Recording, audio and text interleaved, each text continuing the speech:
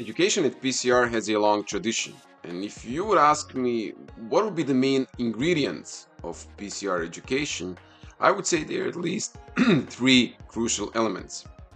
The first is that any PCR educational format starts directly in the middle of everyday practice with a problem or a dilemma that is being addressed by many peers around the world and that is the second element. What PCI strives to do is to bring in many different opinions, many different levels of expertise from many different regional backgrounds. Now this brings different aspects to a common shared problem in the cath lab and can help us find the best solutions. And the third element I would say is exactly this. It is this ability of PCR to generate consensus, to work towards a common solution for a problem identified in the cath lab. And during PCR sessions at EuroPCR, for example, what we all try to do is uh, reach the common ground and then leave the room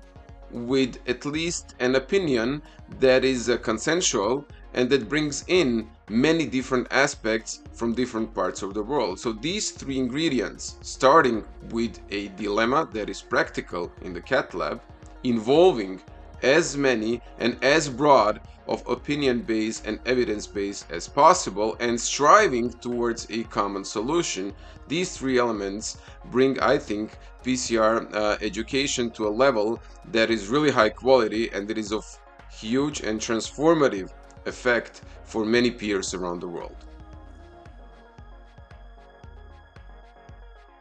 Going further in 2023 and as in every new year, we have new challenges to face, and I would say that there are three types, distinct types of challenges we will be facing this year in terms of providing high quality education. The first is that there is a rising demand for uh, good education in terms of expanding indications of new technologies such as TAVI around the world. So you have new centers, new peers uh, coming in touch with this technology and there is a huge need i think to uh, provide high quality education the second type is not to forget our what we consider to be routine coronary interventions and i think that uh, around the world we are indebted to our patients to providing the highest possible quality of these interventions and that i think is not possible without continuous education that is provided by platforms such as PCR. And third, which is last but not least,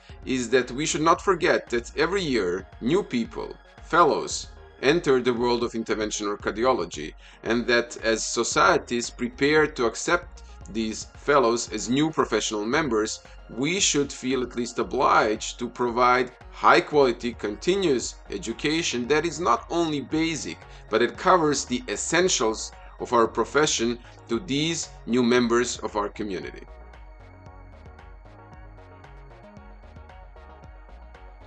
I think that the big advantage of uh, digital education is its flexibility. When you ask most people will tell you a huge outreach, which of course is true, but I think that the flexibility is one of the key features of digital. When you prepare an in-person congress, you're basically constrained by the physical reality. So you need to prepare in advance how long the session is going to be and what kind of discussions there, there is going to be and so on. In digital, you are flexible in terms of the format from a five minute